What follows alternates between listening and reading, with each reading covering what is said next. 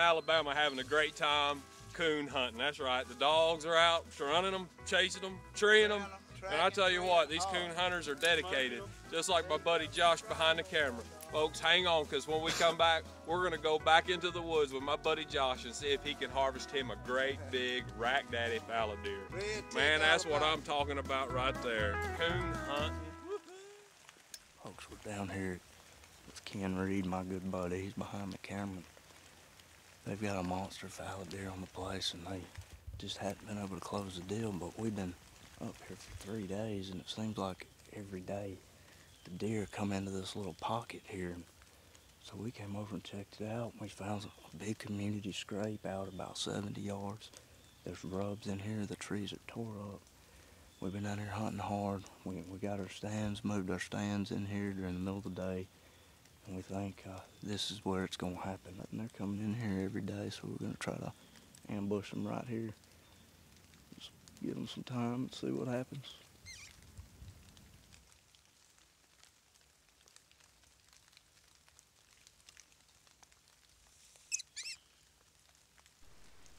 Now, Josh and I, we're set up in hardwood bottoms.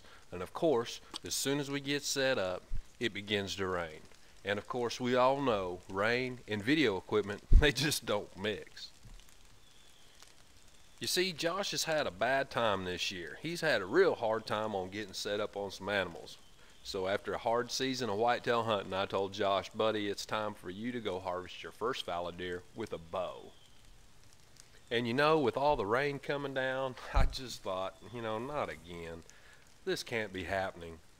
You know, every time I get Josh in the woods to harvest an animal, bam, something goes wrong.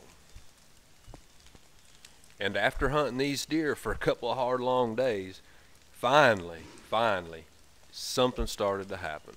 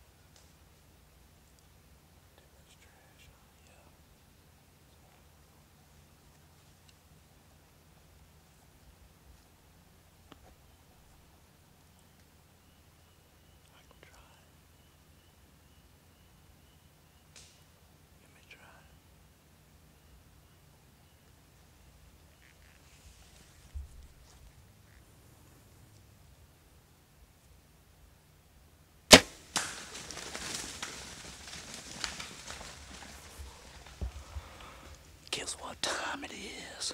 It is hammer time. Golly, that's a big old fella. It took us forever to get a shot at that deer.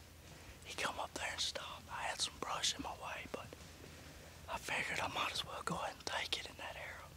It sailed right through there perfect. I think I got a good shot.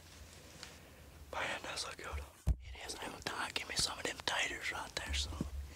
That's a good. I I got him good. Ooh, we'll give him a minute. We'll get down and go see. Man, there are deer in here everywhere. We made a shish kebab out of him, so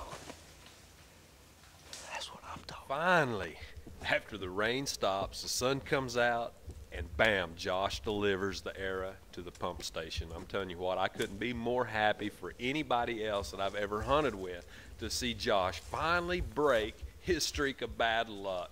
Now, if we can just find the buck.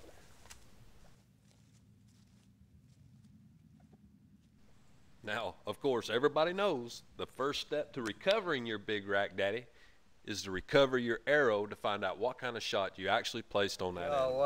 It was a good hit.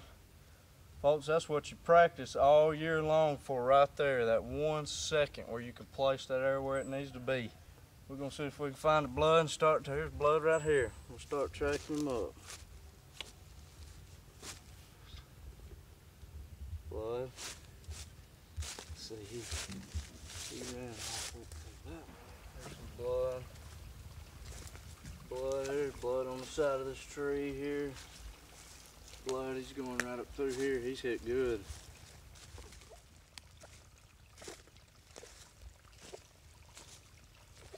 Well, after about an hour of tracking, the blood was dwindling down and we weren't finding much sign.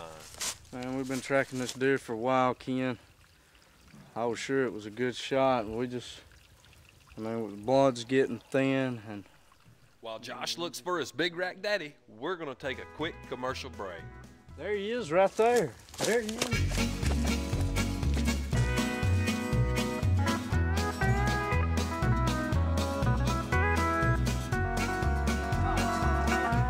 there, Ken.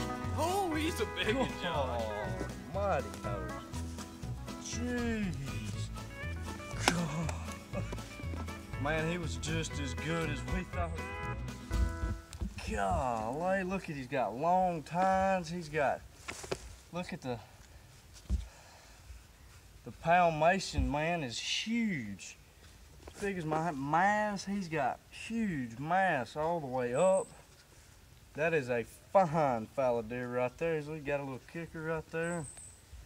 Yeah, I'd say that's a, a four and a half year old deer right there. Folks, we, we come out today and uh, we got into our stands uh, late late afternoon. Well, it was early afternoon and uh, and the weather's been bad. It's been foggy, mist and rain all day. A good deer to a good day to deer hunt, uh, but unfortunately with us filming, Ken Ken said we had to get that camera out of the rain and uh, we were just fixing to get down and this buck come running the does up through there come right into our setup we had a uh, i was hunting out of a, a ladder stand and ken actually had his climber above me.